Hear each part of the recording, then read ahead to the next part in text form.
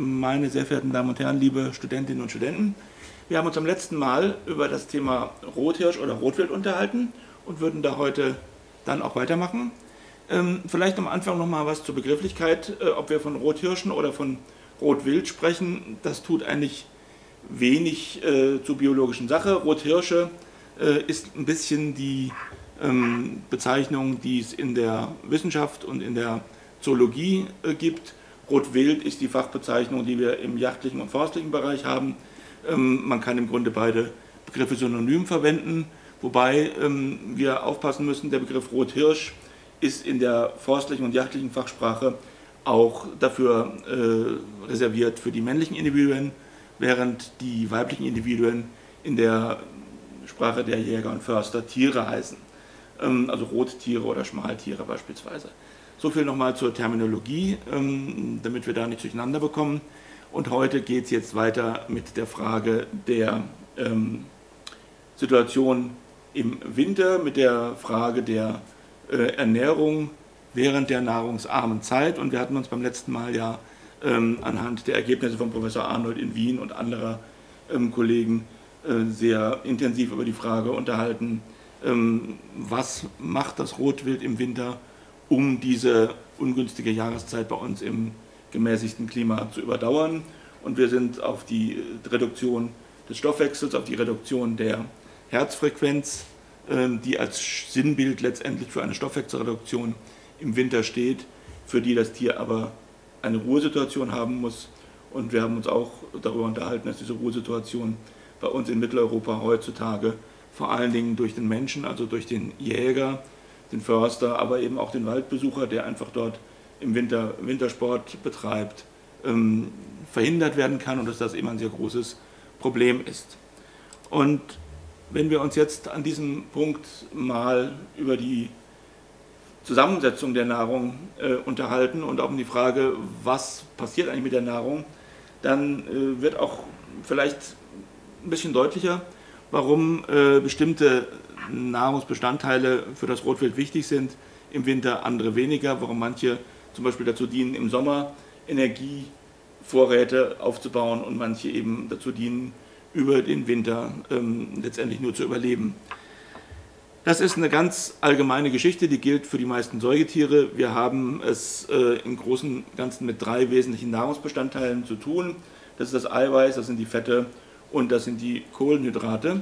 Und die Kohlenhydrate, die setzen sich gerade bei den äh, Wildwiederkäuerarten vor allen Dingen aus Fasern zusammen, denn wir hatten uns ja bei dem Thema Wiederkäuermagen und Wiederkäuerbiologie auch darüber unterhalten, dass die Wiederkäuer durch ihre Symbiose mit Pansenbakterien in der Lage sind, ähm, Zellulose zu nutzen, die wir Menschen zum Beispiel oder auch andere, die nicht Wiederkäuer, Wildschweine zum Beispiel auch nicht nutzen können. Das heißt, die Zellulosenutzung wird über die Nutzung von Holzfasern oder auch Fasern in Gräsern beispielsweise ähm, erfolgen. Ähm, interessant ist, der Energiegehalt ist von diesen drei Komponenten relativ unterschiedlich. Wir haben einmal das Eiweiß, welches, ähm, ich sage mal, einen mittleren Energiegehalt aufweist. Sehen Sie in der Tabelle. Ähm, das Fett, was einen relativ hohen Energiegehalt pro Gramm Fett aufweist und die Kohlenhydrate, die insgesamt einen relativ niedrigen Energiegehalt pro ähm, Gramm Fett, äh, pro Gramm äh, Kohlenhydratfaser aufweisen. Gleichzeitig dürfen wir aber nicht vernachlässigen, dass für die Verdauung dieser Stoffe eben auch Energie aufgewendet werden muss. Das heißt, im Grunde äh, kommt es darauf an, was ist letztendlich netto übrig geblieben. Das heißt, wenn ich zum Beispiel äh, mir das Eiweiß anschaue, dann heißt das zwar, es hat einen mittelmäßig hohen Energiegehalt, es wird aber extrem viel ähm, für die Eiweißverdauung verwendet. Das ist der Grund, warum man zum Beispiel auch solche Eiweißdiäten kennt, äh, die letztendlich wirken, indem man seine Nahrungszufuhr kaum reduziert, aber dafür eben sehr einseitig Eiweiße zu sich nimmt und der Energiegehalt, der Energieverbrauch bei der Verdauung eben dazu führt, dass das nicht günstig oder sehr ungünstig genutzt wird. Beim Fett ist es im Grunde wiederum so, dass der relativ hohe Energiegehalt äh, koordiniert ist mit einem mittleren ähm, Verbrauch für die Verdauung von Fetten. Und interessant ist eben bei den Kohlenhydraten, Dort haben wir zwar einen relativ niedrigen Energiegehalt, aber auch gleichzeitig einen sehr niedrigen ähm, Verbrauch für die Verdauung, sodass eigentlich diese kohlenhydratreiche Nahrung gerade über die, für die Überwinterung der Tiere bedeutsam ist. Das heißt also hier ähm, sind es eben vor allen Dingen auch die Gräser bei den Mischäsertypen, äh, wie beim Rotwild, die dann im Winter von Bedeutung sind. Ähm, gleichzeitig können natürlich die Wiederkäuer auf die Art und Weise auch durchaus Rentenbestandteile und ähnliches nutzen. Das gilt für den Rothirsch und für andere Echthirsche. Es gilt aber zum Beispiel in der Deutlichkeit nicht für andere Wiederkäuerarten wie das Reh. Da kommen wir dann später nochmal drauf zu sprechen. Ähm, das Reh ist ja nur ein Konzentratselektierer, welches nochmal eine ganz andere Verdauungsphysiologie hat. Trotzdem gilt auch beim Reh im Winter diese Reduktion des Stoffwechsels und auch die Verschiebung hin von eben eiweiß- und fetthaltiger Nahrung zu faserreicher Nahrung, wobei die Fasern dann längst nicht in dem Ausmaße und Umfang genutzt werden können, wie das bei den Mischäsern oder gar bei den Grasfressern der Fall ist. Um das Ganze nochmal so ein bisschen in die praktische Situation zu projizieren, wir hatten gesagt, äh, Rothirsch hat eine sogenannte zirkadiane Aktivität. Das heißt, diese Tierart ist praktisch über den ganzen Tag, über die 24 Stunden des Tages aktiv, hat mehrere Aktivitätszyklen am Tag und diese Aktivitätszyklen sind gekennzeichnet durch abwechselnde Phasen von auf der einen Seite Nahrungsaufnahme, also Äsen. Die Tiere stehen typischerweise draußen auf Wiesen, äh, nehmen dort Nahrung auf dann ziehen sie sich praktisch in die Deckung zurück, dort ähm, wiederkäuen sie dann, schließen also mit ihrem äh, Verdauungsapparat diese ähm, aufgenommene Nahrung auf. Dazu brauchen sie schon mal sehr viel Ruhe, um dann nochmal eine Phase des Dösens oder des Ruhens anzuschließen, äh, die natürlich auch nochmal Ruhe erfordert. Also Wiederkäuen und Ruhen passiert dann im geschützten Bereich in der Deckung und das Nahrungsaufnehmen, das Essen passiert normalerweise draußen auf der Wiese, auf den Offenflächen. Und das ist im Grunde auch die äh, Begründung dafür, dass wir natürlich äh, bei der Bejagung von Rotwild ganz klar darauf achten müssen, dass die Tiere nicht auf den Flächen bejagt werden, auf denen sie Nahrung aufnehmen, weil dort dann durch diesen Störungsdruck, den Jagddruck zum Beispiel, ähm, die Tiere diese Flächen meiden und sie nehmen die Nahrung auch in der Deckung auf. Und in der Deckung bedeutet im Wald zum Beispiel, dass sie die Nahrung ähm, in forstlich relevanten Flächen aufnehmen, dass sie verbeißen und schälen und genau das wollen wir vermeiden. Deshalb müssen wir Offenflächen, Wiesenflächen vor allen Dingen erstens schaffen und unterhalten. Und zweitens müssen wir diese Flächen dann auch ähm, ja, so beruhigen, dass die Tiere dort keine Angst haben und ohne Angst und Stress ihre Nahrung aufnehmen können. Ein weiterer Punkt äh, im Zusammenhang mit Störungen ist die Tatsache, dass die Störungen im Zivilisationsraum naturgemäß am Tage stattfinden oder in der Dämmerung, am Tage meistens durch ähm, arbeiten im Wald durch Waldbesucher und in der Dämmerung dann natürlich durch die Bejagung, aber zunehmend natürlich auch durch verschiedene Freizeitnutzungen der Wälder. Mittlerweile ist die ähm, Nutzung des Waldes ja auch nicht mehr auf die Stunden bei Tageslicht beschränkt, sondern unsere deutschen zumindest Waldgesetze erlauben eine relativ liberale Waldnutzung, äh, A, auch jenseits von Wegen, also auch in den Dickungen laufen die Leute rum. Zu Zeiten, wo dann Pilze gesucht werden, ähm, ist das dann nochmal besonders krass im Herbst. Das heißt also, hier ähm, haben wir ein sehr starkes Störungspotenzial in den Tagesstunden und in der Dämmerung. Die Nacht ist bislang noch ein relativ gering gestörter Zeitraum, deshalb ziehen sich die Tiere zur Zeit immer noch sehr stark in die Nachtstunden zurück und entwickeln eine Nachtaktivität, die offenbar gar nicht so physiologisch ist.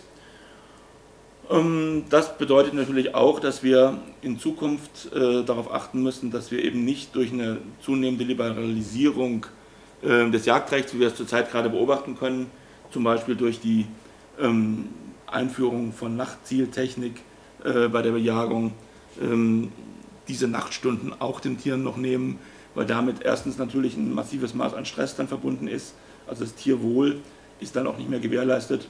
Und zum anderen haben wir ähm, das Problem, dass die Tiere auch nicht mehr biologisch richtig, physiologisch richtig ihre Nahrung aufnehmen können, was jetzt schon sehr stark eingeschränkt ist, was dann aber im Grunde völlig unmöglich gemacht würde. Da sind also für die Zukunft auch wirklich Probleme mit verbunden, die wir in irgendeiner Form lösen müssen. Ich habe hier mal eine Grafik. Ähm, dabei handelt es sich um die Auswertung der Protokolle eines großen äh, staatlichen Forstbetriebes, ähm, wann Rotwild erlegt worden ist, zu welcher Tageszeit Rotwild erlegt worden ist. Und Sie sehen hier, um diese Grafik mal zu erklären, ähm, im oberen Teil des Bildes eine gelbe und eine rote Linie. Das beinhaltet praktisch oder begrenzt die sogenannte bürgerliche Dämmerung. Ähm, das ist ähm, ein Zeitraum um den Sonnenuntergang abends und unten die dunkelgrüne und hellgrüne Linie begrenzen die sogenannte bürgerliche Dämmerung in den Morgenstunden, also um den Sonnenaufgang herum. Das ist die Zeit, in der typischerweise auch die Jäger auf den Ansitz gehen.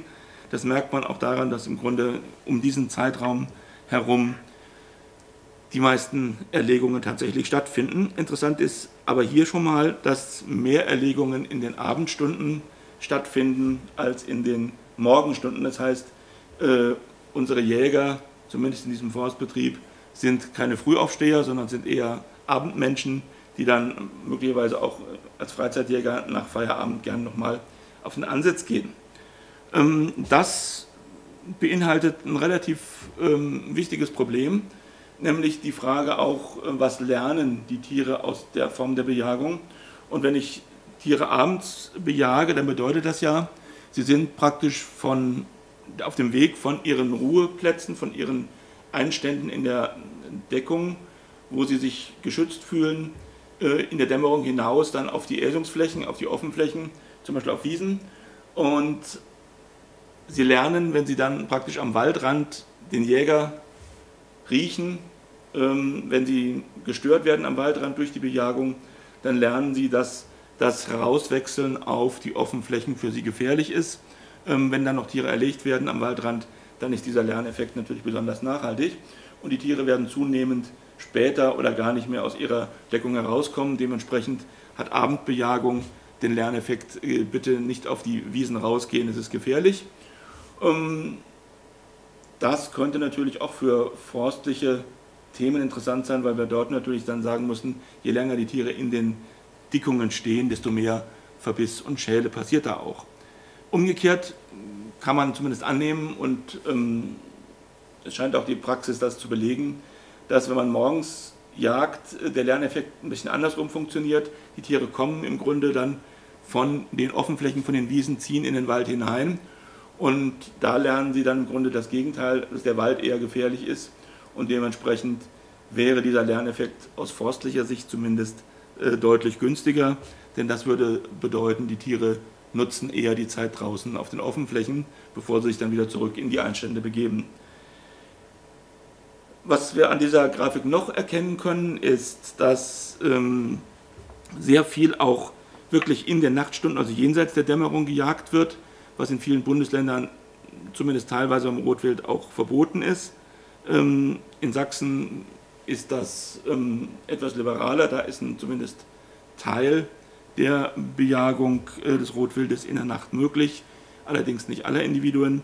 Ähm, was wir hier auf jeden Fall sehen, ist, ähm, unabhängig davon, wo das Ganze stattgefunden hat, dass hier eindeutig sehr viel Rotwild in der Nacht erlegt wird, was aus biologischer, aus fachlicher Sicht absolut kontraproduktiv ist und was man unterlassen sollte. Das heißt also alles, was sich praktisch oberhalb der gelben Linie, ähm, das ist das meiste, oder unterhalb der grünen Linie, das ist nicht so viel. Sie merken also hier auch hier wieder den Effekt des Jägers. Der Jäger geht lieber gerne abends raus und bleibt dann lange draußen. Äh, er steht nicht irgendwann schon ähm, mitten in der Nacht im Dunkeln auf, um dann im Dunkeln schon Rotwild zu erlegen. Also das ist eher ein Problem des Abendansitzes, was sich dann sehr weit in die Nachtstunden hineinzieht.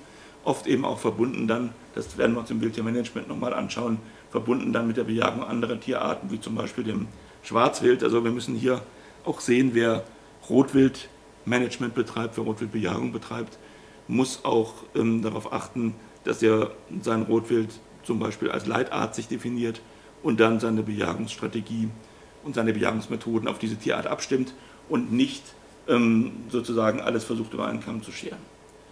Ähm, ein weiterer Punkt, den wir hier auch noch erkennen können, sind die äh, meistens Drückstöberjagden, also Bewegungsjagden, sogenannte Bewegungsjagden, um diesen Begriff mal zu verwenden. Ähm, Drückstöberjagden finden dann meistens am Tage statt und das sind die ähm, kleinen Säulen an Punkten, die wir hier zu den Tagesstunden sehr schön erkennen können. Die haben äh, oder die bedeuten eigentlich, dass hier an diesem Tag ähm, an einem und demselben Tag relativ viele Stücke Rotwild zur Strecke kamen. Das sind dann also Bewegungsjachten, die hier auch nochmal ähm, auf der Grafik besonders herausfallen. Ähm, was man auch sehen kann, ist, wenn man jetzt nochmal diese Nachtstunden reinschaut, dann sieht man eben immer die Mondphasen sehr günstig. Dort, wo Vollmond war, das kann man sehr schön synchronisieren, wird immer relativ viel erlegt und wo dann Neumondphasen sind, findet man eher weniger Erlegungen in der Nacht. Ähm, das Fazit dieser Abbildung ist aber nochmal ganz klar. Ähm, der Rothirsch ist eine Tierart, die einen zirkadianen Aktivitätsrhythmus hat, die eigentlich Tag und Nacht aktiv sein sollte. Wir Menschen haben es fertiggebracht, diese Tiere weitgehend auf die Nachtaktivität zu beschränken. Und wir müssen in Zukunft darauf achten, dass, wenn wir es schon nicht rückgängig machen können, zumindest nicht noch weiter zu verschärfen und zu forcieren, sondern dass wir hier ähm, sehr klug und weise unsere Instrumente, die wir einsetzen können, zum Beispiel technische Geräte, ähm, ja, zurückhaltend einsetzen. Ähm, kommen wir von der Frage der Überwinterung und auch der tageszeitlichen Aktivitäten und auch der Bewegungen der Tiere im Raum jetzt nochmal zu einer anderen Form der ja, räumlichen Assoziation, der Frage der Landschaft, großräumiger also jetzt gedacht, der Zerschneidung von Landschaften und der genetischen Strukturen. Es ist ähm, vielleicht Ihnen schon bekannt, dass ähm, ein wichtiger Aspekt heutzutage des Artenschutzes auch der Erhalt von genetischer Vielfalt ist. Äh, der Begriff der Biodiversität, der allenthalben Jahr ähm, verwendet wird, beinhaltet ja im Grunde drei Ebenen von Diversität. Äh, Sie haben das mit Sicherheit schon irgendwo gehört oder gelesen. Ähm, die Diversität der Ökosysteme, Diversität der Arten und Diversität der genetischen Strukturen innerhalb der Arten. Und wir müssen im Grunde sagen, dass für die zukünftige evolutive Entwicklung der Tiere oder einer Art vor allen Dingen die Diversität unterhalb der Artebene, der Diversität in den Populationen, die genetische Diversität der entscheidende Aspekt ist. Die Artenzahl als solches ist, das kann man eigentlich auch sagen, nicht die entscheidende, weil es gibt artenarme Ökosysteme und es gibt artenreiche Ökosysteme und man kann nicht von vornherein sagen, dass ein artenreiches Ökosystem ja, wertvoller ist als ein artenarmes Ökosystem. Das stimmt so nicht. Ähm, zum Beispiel sind arktische Ökosysteme oftmals deutlich artenärmer als zum Beispiel tropische Ökosysteme und trotzdem sind arktische Systeme deswegen keineswegs ähm, weniger wertvoll. Wenn wir uns zurück zum Rotwild ähm, bewegen, die, gibt es verschiedene oder gibt es verschiedene Probleme mit der äh, Erhaltung von Diversität, genetischer Diversität. Wir haben, das wissen wir auch alle, in der Landschaft sehr viele physische Barrieren. Physische Barrieren sind Bauwerke, die die Tiere nicht überwinden können. Und das hängt natürlich sehr stark auf, wie groß ist ein Tier, ob es ein Bauwerk überwinden kann oder nicht. Ähm, ein Laufkäfer zum Beispiel, äh, für den kann schon eine vierspurige Autobahn ähm, ohne weitere letztendlich Hemmungen wie Zäune ähm, eine Barriere darstellen. Ein Rothirsch, der würde eine normale Autobahn das haben wir selber auch in den 1980er Jahren untersuchen können, eine Autobahn durchaus überwinden können. Das heißt, da wird keine massive genetische Beeinträchtigung stattfinden, sobald aber die Autobahn rechts und links gezäunt wird, als sogenannte Wildschutzzäune, äh, dann haben wir dort eine Barriere, die wir dann auch durch entsprechende Querungshilfen ähm, wieder ähm, entschärfen müssen. Das ist aber ein Thema, das wir dann auch in dem Wildtiermanagement behandeln. Ähm, auch Barrieren sind beispielsweise Kombinationen von Straßen und anderen Verkehrswegen. Wir finden das in Ländern wie der Schweiz sehr häufig. Dort wird durch diese sehr starke Struktur der Landschaft, durch die Berge, eben sehr viel gebündelt in Verkehrswegen. Und dort können eben zum Beispiel auch eine vierspurige Autobahn ähm, mal neben einer vierspurigen Eisenbahnstrecke verlaufen. Und äh, solche Bündelungen führen dann auch zu einem Barriereeffekt, auch ohne dass wirklich Zäune da eine Rolle spielen. Die Querungshilfen, die gerade schon erwähnten, können also auch sehr verschieden aussehen. Wichtig ist, dass wir sie gerade beim Rothirsch an der richtigen Stelle installieren. Sie alle haben schon mal auf der ähm, Autobahn Wildbrücken gesehen. Ähm, solche Wildbrücken sind umso wirksamer, je mehr man sich im Vorfeld Gedanken macht, ähm, wo wir sie bei einem Neubau oder bei einer Nachrüstung der Autobahn ähm, bauen. Äh, das sind Fragen, die dann aber äh, auch, wie gesagt, eine Frage des Wildtiermanagement darstellen, die wir dort dann vertiefen werden. Ähm, fast noch wichtiger oder mindestens genauso wichtig wie diese physischen Barrieren sind allerdings Barrieren durch den Menschen, die nicht äh, räumlich in der Gegend sichtbar sind, sondern die letztendlich zum Beispiel durch Formen der Bejagung, äh, auch ähm, falsche Yachtgesetzgebung entstehen können.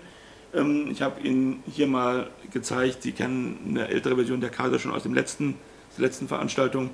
Ähm, wir haben hier äh, eine Karte der Deutschen Wildtierstiftung, die die Rotwildverbreitung in Deutschland und in angrenzenden Regionen zeigt.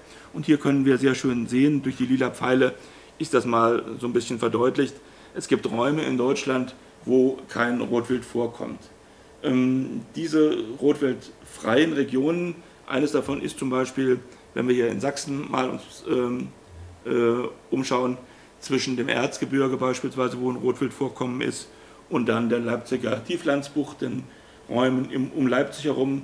Wer von Ihnen die äh, Region kennt, der weiß, der Leipziger Süden ist sehr stark geprägt durch äh, Bergbaufolgelandschaften, durch Braunkohlerestlöcher, äh, die dann zu Freizeitregionen, aber eben auch durchaus zu einem interessanten Mix an ähm, Wäldern und Wasserlandschaften äh, entwickelt worden sind. Und das wären natürlich ideale Rothirsch-Lebensräume. Ähm, allein der Rothirsch kommt dort nicht hin, er kommt von alleine dort nicht hin, weil er aus den nächsten ähm, Lebensräumen, die vom Rothirsch besiedelt sind, Sie sehen das in der Karte dann etwas östlich von Leipzig, ähm, zum Beispiel im Wermsdorfer Wald, ähm, durch sehr große Agrarflächen wandern müssten. Das gleiche gilt für die ähm, Individuen, die aus dem Erzgebirge im Süden ähm, praktisch dorthin wandern könnten. Beide äh, würden dorthin wandern, wenn man sie ließe. Und dieses Lassen heißt aber eben auch, man darf sie nicht in diesen Regionen, wo kein Rotwild bisher noch siedelt, intensiv bejagen. Und genau das ist das Problem. Ähm, in Sachsen gibt es zum Beispiel die Regelung, dass man ähm, in drei Jahren, ähm, soweit ich weiß, bis zu sechs Stück Rotwild erlegen darf, ohne dass dafür ein Abschlussplan gemacht wird, ohne dass es also irgendwo reglementiert ist. Und das ist natürlich absolut kontraproduktiv, wenn wir uns mit der Frage der genetischen Strukturen beschäftigen, wenn wir uns mit der Frage beschäftigen, können wir äh, die Tiere auch veranlassen, neue Lebensräume zu besiedeln. Und genau das können sie eben aufgrund dieser Jagdpolitik und dieser entsprechenden Verordnung in Sachsen nicht. In Bayern ist das gleiche Problem oder noch ein verschärftes Problem. In Bayern ist sogar ein Ausrottungsgebot, muss man sagen. Ähm, Baden-Württemberg, Bayern sind da wirklich ähm, im negativen Sinne die Spitzenreiter. Äh, erstens sehr große rotwildfreie Räume, wie Sie das in den, ähm, im unteren Pfeil erkennen können. Ähm, Im Grunde außer dem Alpenraum ähm, Teil des Schwarzwaldes ein Teil des Bayerischen Waldes, des Oberpfälzer Waldes ähm, und Frankens ähm, sind eigentlich in Bayern rotwildfrei. Und das Schlimme daran ist, dass hier im Grunde auch ein Gesetz existiert oder eine Verordnung existiert, dass diese Räume ähm, rotwildfrei zu halten sind, also definitiv ein Ausrottungsgebot. Das ist ein extremer Anachronismus im 21. Jahrhundert, ähm, der aber offensichtlich politisch nach wie vor noch so gewollt ist dort. Wie kommt es überhaupt zu diesen rotwildfreien Räumen? Das ist äh, eine ganz interessante Frage, die so ein bisschen in die Geschichte zurückgeht. Ähm, 1848 gab es in Deutschland die sogenannte bürgerliche Revolution. Zuvor gab es in Frankreich ja schon die französische Revolution. Und beide geschichtlichen Ereignisse haben dazu geführt, dass ähm, Jagdrecht, also das Recht, ähm, Rothirsche, Rehe, Wildschweine zu bejagen, ähm, nicht mehr ein Adelsprivileg war oder ein Privileg des Landesherrn war, sondern dass dieses Jagdrecht an den Grundeigentümer gegangen ist, dass also der Bauer, der wenige Hektar Land besessen hat, die Tiere auch auf seinem Land erlegen durfte. Und nun stellen Sie sich vor, ein Bauer hat zwei bis drei bis vier Hektar zu der Zeit gehabt, das war schon ganz ordentlich, ein großer Bauer hatte vielleicht zehn Hektar und hat dann plötzlich die Möglichkeit gehabt, die Tiere dort selbst zu jagen. Das hat dazu geführt, dass praktisch auf allen landwirtschaftlichen Flächen Deutschlands Mitte des 19. Jahrhunderts die großen Wildtierarten ausgerottet wurden. Das betrifft das Rotwild, das hat über viele Jahre auch das Schwarzwild betroffen, auch Wildschweine, man kann sich heute kaum vorstellen, fehlten in großen Teilen der Landschaft. Selbst das Rehwild war äh, so weit reduziert, dass es als seltene Art in vielen Regionen gegolten hat. Und diesen historischen ähm, Status, der auch durchaus Konsequenzen hatte für die Ausrottung der Großraubtiere, Auch hier gab es natürlich die beiden Komponenten beim Wolf, da kommen wir später nochmal drauf, ähm, direkte Verfolgung des Wolfes und auch Fehlen einer Nahrungsbasis. Das Fehlen der Nahrungsbasis beim Wolf hat natürlich auch mit zusammen Aussterben beigetragen. Und das hat natürlich genau hiermit zu tun, mit dieser Rechtslage. Im späten 19. Jahrhundert hat man das erkannt und hat dann auch Gesetze zum Schutze von Wildtieren gemacht, die dann im Thema Wildtiermanagement nochmal näher beleuchtet werden. Tatsache ist eben, wir haben beim Rothirsch heute große rotwildfreie Räume, die es eigentlich aus biologischer Sicht und eigentlich auch aus Artenschutzsicht nicht geben dürfte, die aber politisch gewollt sind und mit denen wir uns im Moment praktisch auseinandersetzen müssen und wo wir auch darauf hinarbeiten sollten, dass sich da in Zukunft aus Artenschutzsicht vielleicht was ändert.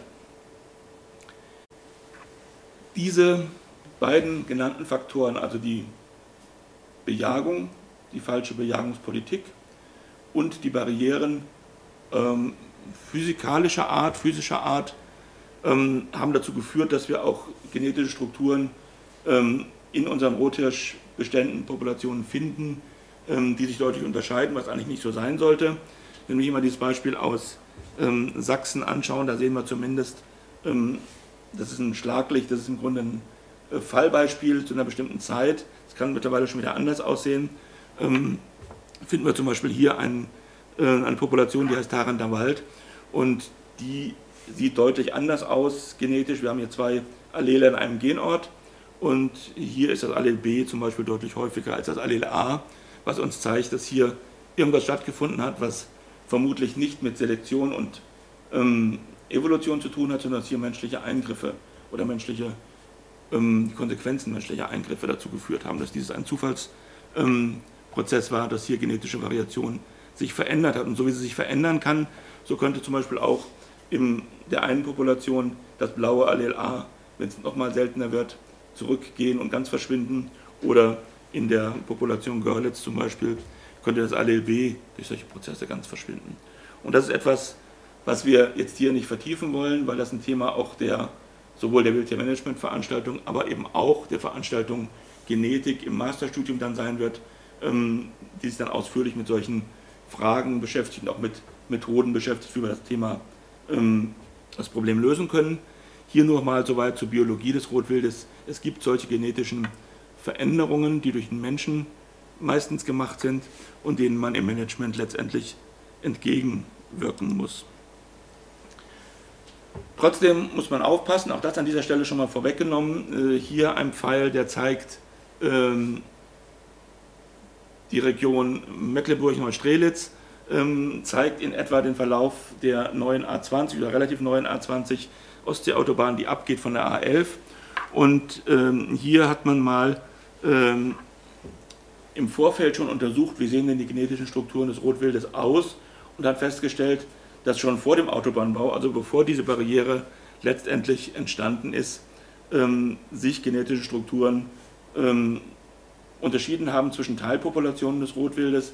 Hier hat sich also die nordöstlich dieser damals noch imaginären Strecke gelegene Teilpopulation von der südwestlichen ähm, Teilpopulation, bevor die Autobahn überhaupt gebaut war, bevor es überhaupt ein Spatenstich gemacht worden ist, schon genetisch unterschieden.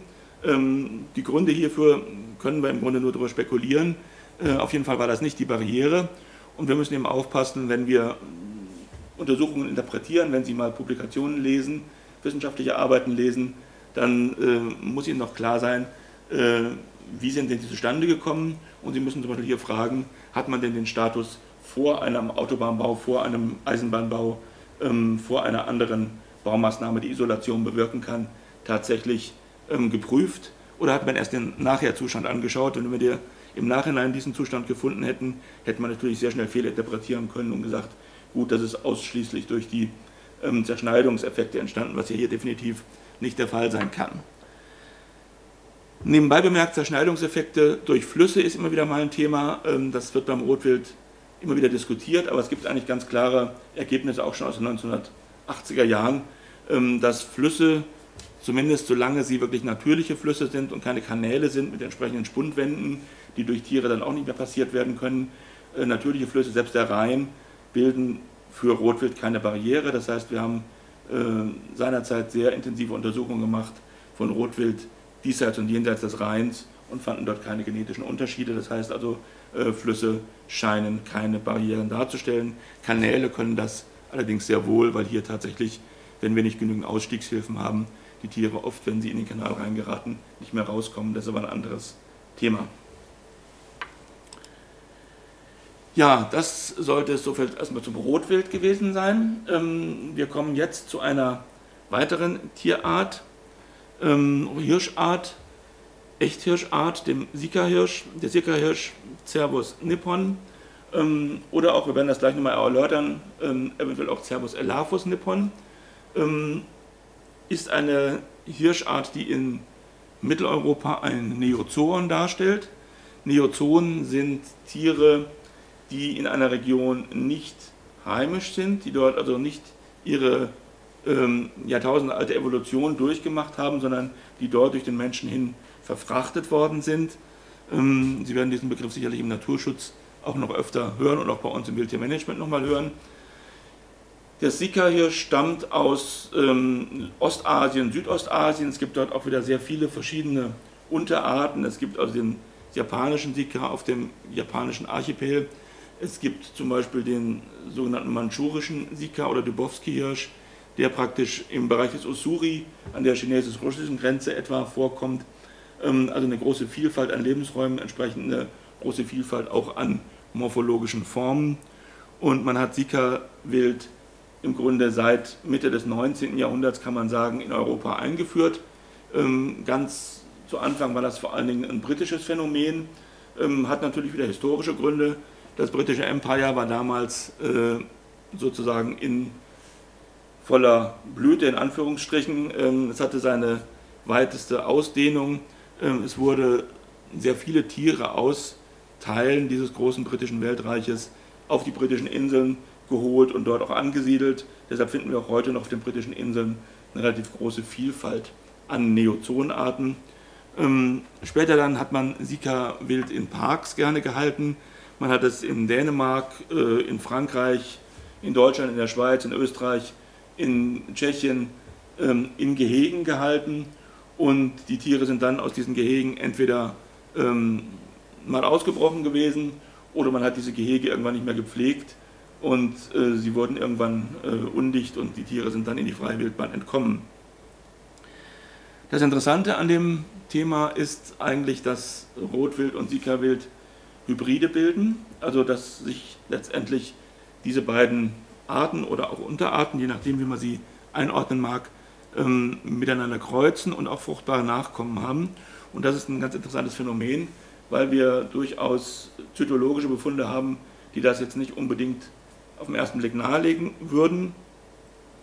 Wir haben mit dieser Hybridisierung auch ähm, das Phänomen äh, erreicht, dass zum Beispiel Irland zu über 90 Prozent von Hybriden besiedelt ist, dass also hier kaum noch reine Formen des Rothirsches oder Sickerhirsches existieren, mit wenigen Ausnahmen im Südwesten äh, Irlands. Da gibt es einen großen Nationalpark, wo auch noch Rothirsche in relativ typischer morphologischer Form jedenfalls vorkommen. Ob die Hybridanteile haben, wissen wir nicht. Und ähm, im großen Teil der Insel ist ansonsten eine einzige Hybridpopulation vorhanden, während in den deutschen Siegerwildvorkommen Hybridisation bislang ja noch nicht sicher nachgewiesen ist, kann man sagen. Also es gibt schon sehr gute Indizien dafür, dass hier auch Hybridbildungen stattgefunden haben. Allerdings mit zytologischen Methoden, die eigentlich den Beweis liefern würden, äh, wurde das bisher noch nicht gefunden, hat aber auch damit zu tun, dass man dort praktisch keine Untersuchungen gemacht hat oder machen wollte. Ähm, Sika-Wild ist eine Eureöke-Art, das ist eigentlich insofern naheliegend, wenn wir uns klar werden, dass in Südostasien selbst von ähm, ja, fast subtropischen Regionen bis hin zu fast arktischen Regionen dieser Sika-Hirsch vorkommt. Ähm, er ist eben an sehr unterschiedliche Lebensräume auch angepasst und anpassungsfähig, kann dementsprechend auch durchaus sehr gut an kalte Witterung sich anpassen. Ist also eine sehr plastische Art. Hier sehen Sie auf dem Bild mal weibliche Individuen. Sie sind etwas kleiner als der Rothirsch. Sie sind insgesamt etwas dunkler gefärbt ähm, und sie haben oft, das kann man hier auf dem ähm, Bild ganz schwach erkennen, eine Punktung ähm, des Fells.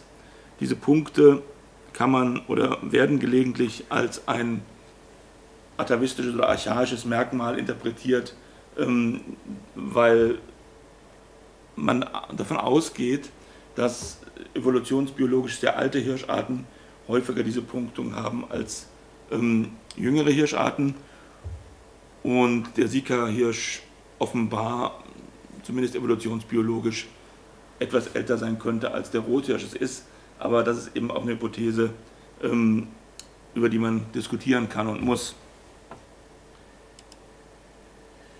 Zum Fortpflanzungsverhalten, das ist ja vielleicht das Interessanteste bei dieser Tierart, ähm, die übrigens in Deutschland ähm, ja in nur wenigen Teilpopulationen oder Populationen vorkommt. Wir haben im Arnsberger Wald Sika-Wild, wir haben in Schleswig-Holstein ein Vorkommen, wir haben am Oberrhein ein Vorkommen und wir haben im Moment, ähm, das ist vielleicht das Interessanteste, zusehends eine Introgression aus dem ähm, Bereich Böhmens, also im Bayerischen Wald, im Oberpfälzer Wald, äh, in Oberfranken haben wir zunehmend äh, Sika-Wild beobachtet, ähm, welches es vermutlich aus einem Vorkommen in Tschechien, im Raum Karlsbad dorthin sich bewegt. Dieses Karlsbader Vorkommen umfasst, ja, man sagt fast 10.000 Individuen derzeit und die haben natürlich auch einen gewissen Verbreitungsdruck und die breiten sich sicherlich auch vorzugsweise nach Westen wegen der Hauptwindrichtung äh, West oder Nordwest aus, wobei auch durchaus in Sachsen schon im Bereich des Erzgebirges Sikawild aufgetaucht ist. Also hier gibt es offenbar auch eine sehr deutliche Verbreitungstendenz. Die Fortpflanzungszeit, die Brunft ist später als beim Rothirsch. Rothirsch hatten wir gesagt September, Oktober. Beim Sika-Hirsch können wir sagen Oktober, November. Die Brunftlaute sind anders als beim Rothirsch. Das Sika-Wild hat einen pfeifenden Brunftlaut. Ähm, trotzdem scheint es, und wann das passiert, werden wir uns gleich mal ein bisschen Gedanken zu machen müssen, scheint es gelegentlich dazu zu kommen, dass sich eben auch Rotwild und Sika-Wild in freier Wildbahn verpaaren, dass also dieser unterschiedliche ähm, Brunftverhalten, dieses unterschiedliche Brunftverhalten keine Rolle spielt, ähm, um auch Hybride letztendlich zu bilden. Die Kälber werden im Mai oder Juni gesetzt und ähm, die Hybridbildung bedeutet, oder die Hybridbildung wird wahrscheinlich ähm, dann immer vermehrt auftreten, zumindest geht man davon aus, ähm, wenn die eine oder die andere ähm, Subspezies, und wir müssen eigentlich hier von Unterarten reden, deshalb können wir eben auch hier von Cervus elaphus nippon eigentlich sprechen, ähm, weil es eben Angehörige an derselben biologischen Art sind. Ähm, diese ähm, Hybride werden sich dann einstellen, wenn die eine oder die andere Subspezies in Populationsstrukturen vorkommt, die suboptimal sind, wenn also zum Beispiel sehr wenige Individuen existieren, wenn die Sexualstrukturen, also das Geschlechterverhältnis, unausgewogen ist, wenn die Altersstrukturen unausgewogen sind, dann, so vermuten wir, ähm, werden auch Hybridbildungen häufiger stattfinden, während sie dann seltener sind, solange die Tiere in ihren einzelnen Subspezies auch in intakten Sozialstrukturen leben, also in entsprechender Populationsdichte, in entsprechendem Geschlechterverhältnis, in entsprechendem Altersaufbau. Ja, wie kommt das ähm, biologisch zustande oder vor allen Dingen auch warum kann das biologisch zustande kommen, obwohl Sika-Wild und Rotwild, so viel sei erstmal vorausgeschickt hier, unterschiedliche Chromosomenzahlen haben. Wir haben ähm, beim Sika-Hirsch insgesamt 64 Chromosomen und wir haben beim Rothirsch 68 Chromosomen. Beides ähm, ist eigentlich nicht kompatibel, wenn Sie sich mal an die ähm, Kenntnisse aus der Biologie erinnern, ähm, was letztendlich ähm, bei der Meiose passiert. Ähm, da fragt man sich, wie kann das denn funktionieren? Und der Schlüssel für dieses Phänomen der Hybridisation trotz unterschiedlicher Chromosomenzahlen liegt in den sogenannten Robertsonschen Translokationen. Ähm, diese Robertsonschen Translokationen ähm, sind dadurch gekennzeichnet, dass bestimmte Chromosomen, wir haben hier mal im Bild ein Beispiel, da haben wir das Chromosomenpaar 1 und das Chromosomenpaar 2 und das Chromosomenpaar 3 und das Chromosomenpaar 4. Ähm, die sind beim Rothirsch, Sie sehen hier symbolisch immer nur ein Chromosom für so ein Paar jetzt dargestellt, die sind beim Rothirsch also ähm, vorhanden und sind auch einzelne unabhängige Chromosomenpaare, während sie beim Sika-Hirsch ähm, in Form sogenannter Robertsonscher Translokationen vorliegen. Robertsonsche Translokationen stellen also so eine Art Verklebungen einzelner Chromosomenpaare im Bereich ihres Zentromeres dar. Und diese Verklebungen sind recht stabil, das heißt, wir haben beim Sika eben immer das Paar 1 und 2 aufeinander transloziert.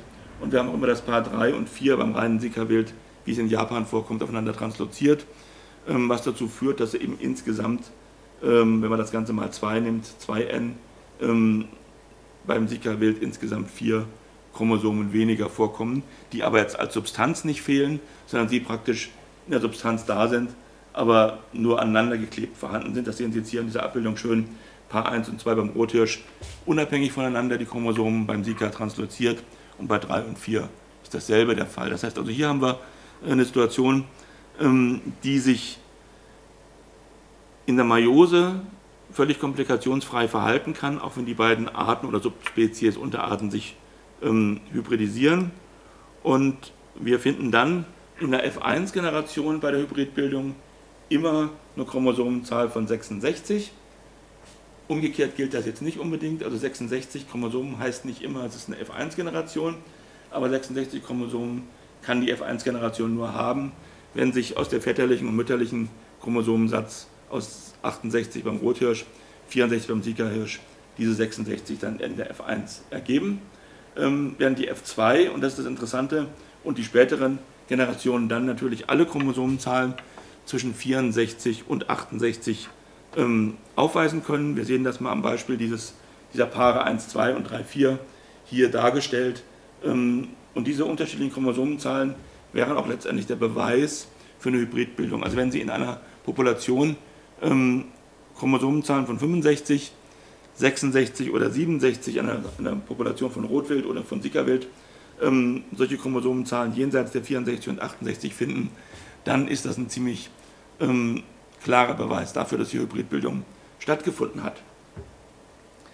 Interessant ist auch, dass man oftmals bei verschiedensten, ähm, auch vermeintlich seltenen südostasiatischen Hirscharten, äh, wenn man aber die Chromosomensätze sich anschaut, ungerade Chromosomenzahlen findet. Äh, unsere eigenen Untersuchungen haben das auch schon mal belegt aus zoologischen Gärten.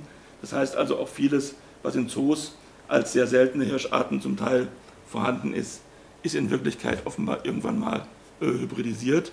Und man kann das so erklären, dass gerade Südostasien sehr viele verschiedene Hirscharten beherbergt und dass Südostasien gleichzeitig offenbar auch so eine Art evolutiver Hotspot ist. Das heißt also hier scheint sich diese Gattung Cervus in der Evolution her zu entwickeln und hier scheint auch so ein Ursprungsort dieser Echthirsche letztendlich zu sein. Deshalb ist gerade Südostasien auch für diese Hybridbildung und auch für die vielen Arten, die wir dort haben, äh, sehr charakteristisch oder sehr typisch auch. Wenn wir jetzt mal mit einfacheren Methoden als der Zytogenetik, die von der Technik her sehr aufwendig ist, ähm, Populationen untersuchen wollen, dann kann man das mit anderen genetischen Methoden machen. Hier ist zum Beispiel mal die biochemisch-genetischen Methoden genannt. Wir haben verschiedene Genorte, hier zwei Stück zum Beispiel, SOD, Superoxidismutase und 6-PGD, 6-Phosphogluconat, Dehydrogenase. Diese beiden ähm, Genorte wurden daraufhin untersucht, ähm, welche Allelbesetzungen sie haben. Die Allele ähm, sind A und B jeweils und Sie sehen in diesen Farben ähm, hellgrün, grau und schwarz hier die unterschiedlichen kombinierten Genotypen aus diesen Allelen. Und Sie können hier sehr schön sehen, für den SOD-Genort, ähm, wenn wir mal in Deutschland bleiben, das Sika-Wild im Möhnesee-Bereich hat offenbar einen sehr hohen Anteil dieses Genotyps klein a, klein a, während Sika-Wild, morphologisch Sika-Wild im Möhnesee-Bereich einen sehr geringen Anteil des Allels klein b, klein b hat, während ähm, das Rotwild in Gesamtdeutschland, da sieht es genau andersrum aus, noch deutlicher eigentlich. Wir sehen hier einen sehr hohen Anteil des Allels BB und wir sehen einen ganz niedrigen Anteil des Allels klein a oder des Genotyps klein a, klein a. Und jetzt haben wir mal gesagt, jetzt lass uns mal die Sika-Hirsche in Irland anschauen, also die im Grunde eine Hybridpopulation darstellen, wo wir wissen, es sind Hybriden zwischen Rot- und Sika-Wild. Da finden wir jetzt ähm, ja, ähnliche, eine ähnliche Situation wie beim Sika-Wild am Möhnesee, ein bisschen Richtung diesem kleinen b, kleinen b, also nennen wir ihn mal Rothirschtyp, verschoben. Und das ist eben schon ein deutliches Indiz dafür, wenn auch kein Beweis, aber ein deutliches Indiz, dass auch hier Hybridbildungen im Vorfeld, vielleicht sogar schon bei den Tieren, die dort angesiedelt worden sind, stattgefunden haben. Und wenn wir jetzt mal den Rot, das Rotwild im Möhnesee anschauen, das ist eigentlich die, einzig, die, die hauptsächlich interessante äh, Beobachtung, die wir hier gemacht haben. Also der Befund ist wirklich spannend. Ähm, das Rotwild zeigt einen sehr hohen Anteil des Allels klein a, klein a, sogar den höchsten Anteil gegenüber dem kleinen b, klein b. Das heißt, hier sieht das tatsächlich so aus, als ob hier eben auch in dieses Rotwild, und wir müssen dazu sagen, dass im Bereich des Möhnesees sehr wenig Rotwild zu diesem Zeitpunkt damals dort existiert hat, während sehr viel Sickerwild existiert hat. Also hier würde sich die Hypothese ähm, bestätigt sehen oder gefestigt sehen, dass man sagt, das Rotwild ist hier offenbar in einer ähm, populationsbiologisch schwierigen Situation. Es hat äh, ungünstige Populationsstrukturen und hier scheint also eine Hybridbildung dann auch offenbar stattzufinden. Ähm, da es eben nur ein Indiz ist, kann man einen weiteren Genort dazu nehmen. Nehmen wir mal den Genort 6-PGD, also 6-Phospholykonat-Dehydrogenase. Ähm, nur als Marker, hat keine andere Bedeutung. Hier sehen wir ganz ähnlich, sogar noch ein ausgeprägteres Bild. Wir sehen hier beim Sika-Wild am Möhnesee ähm, das Allel 6-PGD-B in doppelter, also homozygoter Form sehr, sehr häufig, während die anderen Allele in homozygoter oder heterozygoter Form eben sehr selten sind. Beim Rotwild ist es jetzt nun sehr deutlich in Deutschland, da haben wir wirklich nur das Allel A, das ist also das Rotwild in Deutschland außerhalb der Möhnesee-Region, ist fixiert auf das Allel A. Wir haben nur homozygote Genotypen und die Rothirsche am Möhnesee zeigen jetzt hier ganz deutlich so eine Zwischenform mit einem hohen Anteil des Allels B, also dem Genotyp BB, welches eben auch auf eine Hybridbildung ähm, schließen lässt. Wenn wir diese beiden Genorte uns zusammen betrachten, wird die Sache schon deutlich ähm, wasserdichter. Wie gesagt, den letzten Beweis würde eine Chromosomenuntersuchung eigentlich liefern. Also hier scheint sich offenbar ähm, paarungsmäßig einiges zu tun und das begründen wir derzeit mit der Hypothese, dass hier tatsächlich lange Zeit sehr viel Sika-Wild vorhanden war und sehr wenig Rotwild und das Rotwild in einer Art sexuellen Notstand ähm, sich mit dem Sika-Wild auch verpaart hat. Das Ganze kann man dann auch nochmal grafisch sehr schön darstellen, sogenannte Clusteranalyse. Der eine oder andere von Ihnen mag sowas schon mal gesehen haben. Das sind ähm, Rechenalgorithmen, wo man einfach Ähnlichkeiten miteinander ausrechnet. Diese Ähnlichkeiten können im Grunde auf verschiedener Basis berechnet werden. In dem Fall haben wir sie aufgrund dieser genetischen Strukturen, dieser Allelstrukturen berechnet. Und wir sehen hier in dieser Clusteranalyse, ähm, wenn wir mal drei Genorte zusammenfassen, dann clustert eigentlich Sika-Wild am Möhnesee und ähm, Rotwild am Möhnesee sehr nah beieinander und es ist sehr weit, sieht man über diesen Weg hier hinten, sehr weit von den restlichen ähm, deutschen Rotwildvorkommen entfernt. Interessanterweise ist am nächsten dran geklustert ähm, das Vorkommen der Egge. Und die Egge, das Eggegebirge ist eben äh, auch in Nordrhein-Westfalen und sehr nah an dieser Möhnesee-Region dran. Das heißt also hier ähm, würde die Hypothese noch durch bestätigt. Das gleiche gilt, wenn wir ähm, den SOD-Genort nehmen. Hier hatten wir auch von den Wicklauer Sikas oder Sika-Hybriden ähm, Proben nehmen können. Hier zeigt sich das gleiche Bild wieder dass sich auch hier ähm, Sika-Wild vom Möhnesee, Hybriden aus Irland und Rotwild vom Möhnesee sehr eng beieinander clustert. Und auch hier ist das Eckegebirge wieder sehr nah dran, ähm, allerdings schon deutlich abgesetzt von dieser Dreiergruppe hier. Also auch hier können wir sehr schön sagen, hier gibt es sehr gute Hinweise auf Hybridbildung, die, und das muss man auch dazu sagen, also offenbar aber kaum oder keine äh, ökologischen Implikationen oder Konsequenzen hat. Wir haben hier im Grunde nur mit ganz, ähm, ja, letztendlich morphologischen, also mit ganz morphologischen Phänomenen zu tun. Ökologisch gesehen verhält sich das Sika-Wild ähnlich dem Rotwild. Ähm, aus forstlicher Sicht ist es sogar eher als weniger problematisch angesehen. Also wir haben hier im Grunde kein Problem auch der Invasivität. Heute wird ja sehr leicht auch die Frage immer aufgeworfen, sind Neozonarten, was Sika ist ein Neozon, invasiv. Hier kann man echt ganz klar sagen, dass Sika ist nicht invasiv, weil es das Rotwild eben nicht gefährdet. Und wenn es sich wirklich um eine Art handelt, dann ähm, ist eine solche ähm, Vermischung auch nicht wirklich problematisch, wenn man mal das Ganze ähm, im Naturschutz etwas entspannter sieht und jenseits von der Hypothese sieht, dass die lokale Form immer nur die bessere ist, sondern dass sich eben auch für die Evolution unter anthropogenen äh, Umweltbedingungen oftmals ähm, eine solche Mischung als die geeignete erweisen kann. Das Beispiel in Irland hat das ja gezeigt. Hier scheint ja offenbar diese Hybridform ähm, deutlich besser an die dortigen Umweltsituationen angepasst zu sein, als dies ähm, das reine Rotwild war. Jetzt zu einer dritten Echthirschart in Deutschland. Die dritte Echthirschart, die wir uns kurz zu Gemüte führen müssen, ist das Dammwild. Das Dammwild ist kein Neozoon, das muss man ganz klar sagen. Das wird oft fälschlicherweise auch als Neozoon bezeichnet. Ähm, Neozoen sind, da kommen wir auch im fünften Semester im Wildtiermanagement nochmal drauf genauer zu sprechen, sind definiert ähm, als Tiere, die, ich sage es mal ganz salopp, ähm, nach Christoph Kolumbus bei uns von Menschen angesiedelt wurden.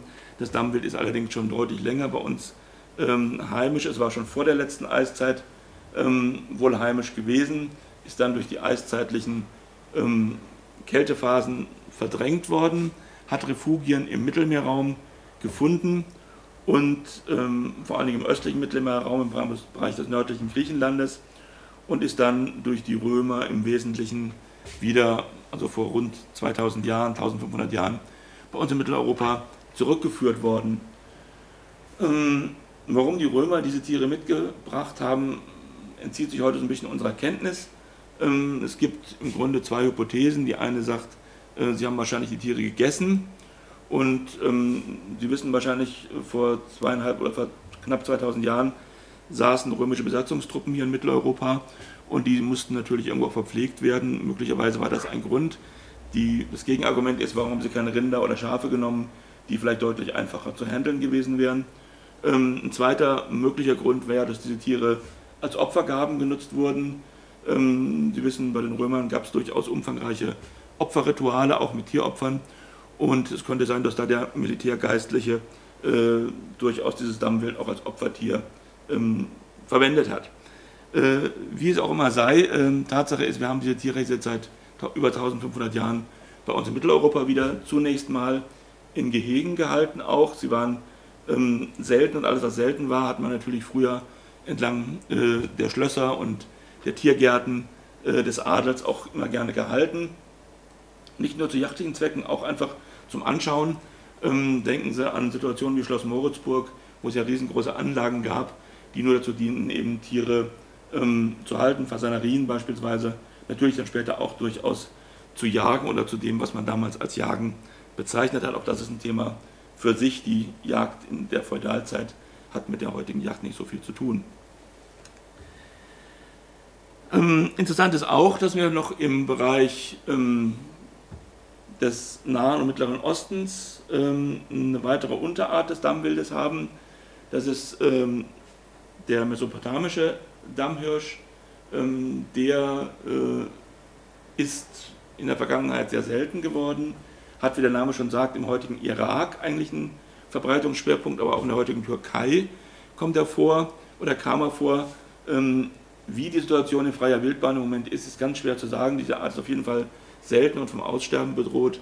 Ähm, sie wird allerdings in einem zoologischen Garten im Opel Zoo in Kronberg im Taunus heute ähm, gehalten und auch vermehrt sodass wir auf jeden Fall die Art als solches äh, nicht verlieren werden, wobei die Situation in freier Wildbahn gerade auch aufgrund der zahlreichen Konflikte, die wir gerade im Nahen Osten haben, ähm, denken Sie an die Situation an der türkisch-syrischen Grenze, völlig unklar ist, wie viele Tiere dort im Moment noch existieren in freier Wildbahn. Die Biotopansprüche des Dammwildes sind noch mehr Offenland geprägt als vom Rothirsch eigentlich. Das heißt also, ähm, der Rothirsch ist ja schon eine sehr offenlandlastige Art, viel mehr als ihm eigentlich im Moment zugestanden wird. Dammwild zieht sich noch eher in die offenen Landschaften, liebt eigentlich sogenannte Parklandschaften. Und das sind natürlich die Landschaften, die auch in der Vergangenheit, gerade vor mehreren Jahrhunderten in Mitteleuropa gar nicht so selten waren. Ähm, denken Sie an die Bilder von Caspar David Friedrich, ähm, diese wirklich baumarmen Landschaften, die in der Romantik äh, von den Malern so geschätzt waren. Das sind eigentlich Landschaften, die ja aus einer Waldverwüstung stammen, die eigentlich ähm, ehemals geschlossene Wälder waren, die dann eine Übernutzung dieser Wälder ähm, erfahren haben und dann zu diesen pittoresken und für uns Menschen eigentlich sehr angenehm aussehenden Landschaften geworden sind. Das sind auch Landschaften, in denen der Dammhirsch durchaus einen guten Lebensraum findet. Also keine so deutliche Art, die, oder überhaupt keine Waldart, noch weniger als das Rotwild, auch nicht so anpassungsfähig an Wälder. Wenn sie in Wäldern vorkommt, diese Art, dann in wärmeren Gegenden, möglichst mit höherem Laubwaldanteil. Zurzeit haben wir gerade in Brandenburg und in Mecklenburg eine deutliche Vermehrung des Dammwildes. Die Nahrungssituation ist ähnlich wie beim Rotwild, es ist ein Mischäser, allerdings ein bisschen mehr Tendenz zum Konzentratselektierer, wenn man das mal so sagen kann, als das Rotwild. Das heißt also, der Faseranteil in der Gesamtnahrung ist etwas geringer als beim Rotwild, ähm, wobei es eben nach wie vor ein Mischäser bleibt. Ähm, auch die Sozialstrukturen sind im Grunde denen des Rotwildes völlig vergleichbar. Die Rudel von Dammwild, die zum Teil sehr große Rudel bilden können, ähm, sind aus diesen Grundeinheiten Gynopedium, zusammengesetzt, also Alttier, Kalb des Alttieres aus dem laufenden Jahr und Schmaltier, also Kalb des Alttieres aus dem, Lauf, aus dem Jahr vor dem laufenden Jahr. Ähm, diese Mini-Familienverbände äh, mal n gibt dann praktisch ein großes Dammwildrudel.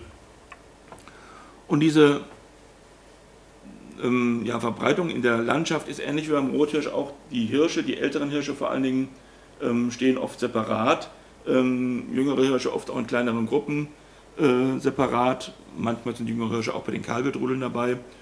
Und ähm, im Grunde ähm, ja, sind diese ähm, oder kommen die eigentlich nur in der Brunftzeit wirklich zusammen, auch wenn die Hirschrudel oft den Kalbetrudeln dann auch lose mal folgen und diesen assoziiert sind. Ähm, das Dammwild ist auch bis heute noch mehr tagaktiv geblieben, als das Rothirsch, als das Rotwild ist. Ähm, das mag verschiedene Gründe haben. Ähm, ob das eine Verhaltens, ähm, ja wahrscheinlich eine Verhaltensstruktur, ob das auch mit einer geringeren genetischen Anpassungsfähigkeit zu tun hat, die einfach diesen Rückzug auf die Wälder nicht so leicht ermöglicht hat wie dem Rotwild, das kann man diskutieren, ist aber letztendlich eine offene Frage. Ähm, Fortpflanzungszeit ist auch wiederum später als beim Rotwild. Die Brunftzeit beim Dammwild ist der Oktober-November. Ähm, hier haben wir eben auch die Situation, dass wir ähm, ritualisierte Auseinandersetzungen zwischen den Hirschen haben, keine Beschädigungskämpfe, ähnlich wie beim Rotwild auch. Ähm, sie sind sogar noch ritualisierter. Beim Dammwild hat ja ein schaufelförmiges Geweih und dieses schaufelförmige Geweih ähm, ist eigentlich noch weniger als das Rothirschgeweih zu ernsten Auseinandersetzungen geeignet, also ist eigentlich mehr äh, tatsächlich auch Symbol oder Show ähm, als wirklich eine Waffe für Rangkämpfe. Ähm, das heißt, die Rangkämpfe sind auch noch deutlich mehr ritualisiert, als es beim Rothirsch der Fall ist. Ähm, beim Dammwild ist es allerdings so, dass ähm, die weiblichen Individuen praktisch zu den Hirschen kommen, während beim Rotwild hatten wir ja gesagt, kommen praktisch die Hirsche dann zu den Kahlwildrudeln. Also im Rotwild ist es so, dass die Kahlwildrudel praktisch Offenflächen, also die Brunftplätze aufsuchen und die Hirsche dann, die älteren Hirsche sich vereinzeln und diese Kalbeltrudel dann aufsuchen. Bei Dammhirsch ist es genau andersrum. Ähm, da suchen die Hirsche ihre traditionellen Brunftplätze aus und das Kralwild kommt dann dorthin. Ähm, das heißt, ähm, wir sprechen hier auch von einem Phänomen, was sich man in der Biologie als Arena-Balz bezeichnet. Arena-Balz, der Begriff kommt eigentlich von Vogelarten mit dem Birkhuhn und bedeutet, dass praktisch die Hähne und in dem Falle die Hirsche ähm, sich einen überschaubaren Platz suchen, den Brunftplatz, der natürlich einfach aufgrund dieses Imponierverhaltens auch möglichst gut einsehbar sein soll. Deshalb auch die Brunft viel mehr tagsüber als beim Rotwild. Beim Rotwild sind es auch die Brunftrufe, die dort eine Rolle spielen, viel mehr, wobei der Dammhirsch auch Brunftrufe hat, die allerdings deutlich monotoner als beim Rotwild sind, ähm, etwas höher im Ton sind und mehr wie eine Art Rülpsen äh, sich darstellen, also kein solches Schreien oder Brüllen, wie der Rothirsch das tut. Ähm, die Dammhirsche graben sich dann sogenannte Brunftkuhlen, das sind also Bodenvertiefungen. Ähm, in diese Bodenvertiefungen ähm, setzt er sich dann rein, macht die auch entsprechend vom äh, Geruch her attraktiv für sich und seinesgleichen. Also er uriniert da zum Beispiel rein, er nässt dort rein, wie der Jäger sagt. Ähm, das heißt, die stinken auch ganz gewaltig und äh, in diesen Brunftkohlen sitzt er, äh, beugt dort sozusagen vor sich hin und wartet, dass das Kahlwild sich dort einfindet. Also das Brunftverhalten ist ähm, etwas anders als beim Rothirsch. Also eine Arena-Balz kann man sich vom Dammwild merken, die weiblichen Tiere kommen zu den Hirschen, beim Rotwild ist es andersrum. Und insgesamt äh, gibt es auch keine Hybridbildungen zwischen Dammwild und Rotwild, obwohl, nur mal bei, äh, nebenbei bemerkt, die Chromosomenzahlen hier zum Beispiel identisch sind. Also Rothirsch und Dammhirsch haben beide 68 Chromosomen, aber sie verpaaren sich eben nicht, so wie Rothirsch und Sickerhirsch das tun. Das heißt also, hier scheint eine deutliche Artbarriere zu sein, deshalb am Dammwild auch der Name Cervus dama ganz klar äh, steht für eine eigene Art. Die Tragezeit, die Fortpflanzung, die, die Schwangerschaftsdauer ähm, dauert etwa 33 Wochen beim Dammhirsch. Ähm, es werden dann typischerweise auch ein Kalb gesetzt, gelegentlich auch mal zwei Kälber im Mai, Juni. Ähm, es ist mit dem Aufzuchtverhalten ähnlich wie beim Rothirsch, das heißt, die Kälber werden dann durch die Mutter sehr intensiv und sehr lange betreut. Vielleicht nicht ganz so lange wie beim Rothirsch, aber doch auch schon lange und über das erste Lebensjahr hinaus. Und auch das Ablegeverhalten, das haben wir beim Rothirsch sehr intensiv erörtert, ist beim Damenhirsch ganz ähnlich in den ersten Tagen nach der Geburt. Ähm, postpartum, also wird das Kalb in Deckung abgelegt, ähm, obwohl es der Mutter folgen könnte. Beim Rothirsch ganz ähnlich. Und in den folgenden Wochen wird das Kalb dann viel häufiger auch in äh, Deckungs-, äh, in Offenlandstrukturen abgelegt. Zum Schluss noch eine kleine Besonderheit, ähm, das ist ganz interessant. Wir finden beim Darmwild ähm, den Impuls, diese Tiere zu domestizieren, was wir beim Rothirsch zum Beispiel nicht haben. Ähm, in den vergangenen Jahren kann man zunehmend sogenannte Dammviehhaltung äh, beobachten, oftmals auf Grenzertragsböden, die oft für andere Tierhaltung nicht so gut geeignet sind. Äh, in Deutschland vor allen Dingen zur Wildbrettgewinnung, obwohl es ja eigentlich dann kein Wildbrett mehr ist, sondern sind ja dann eigentlich schon zumindest gezähmte Tiere. Ähm, das ist eigentlich ganz interessant insofern, als das Dammwild sich deutlich leichter zähmen und halten lässt als das Rotwild. Ähm, interessant ist, dass die Sikas in Irland auch durchaus in Farmen gehalten werden. Bei uns eben, wie gesagt, beschränkt sich das im Wesentlichen aufs Dammwild. Rotwild gilt als deutlich schwieriger zu halten und aufgrund dessen kann man auch sagen, das Dammwild befindet sich vielleicht in einem ganz, ganz frühen Stadium der Domestikation. Ähm, was beim Rotwild definitiv nicht der Fall ist. Ähm, die Hinweise darauf sind ja der Eingriff, wir hatten es ja schon mal ähm, diskutiert an einer anderen Stelle, der Eingriff in das Fortpflanzungssystem. Das heißt also, es wird hier ganz gezielt schon gezüchtet, es werden also bestimmte Hirsche mit bestimmten Dammtieren gekreuzt und das sind dann so die allerersten Schritte in Bezug auf eine Domestikation, die sich dann auch in verschiedenen Merkmalen, zum Beispiel der großen Farbvariabilität dieser Damm, äh, dieses Dammwildes auch äußern und es gibt auch Hinweise, dass diese Art der züchterischen Eingriffe schon seit mehreren Jahrhunderten, gerade auch in der Gehegehaltung, in den großen Tiergärten ähm, der Adelssitze eine Rolle gespielt hat. Ähm, sodass wir also in der freien Wildbahn auch heute sehr viele Farbvarianten finden, also das normale braune mit weißen Flecken versehene Dammwild, das schwarze und das weiße Dammwild kommt durchaus in einem derselben ähm, Populationen, in einem derselben Vorkommen ähm, in hinreichender Zahl auch vor. Ja, das war's zum Dammwild und beim nächsten Mal geht's weiter.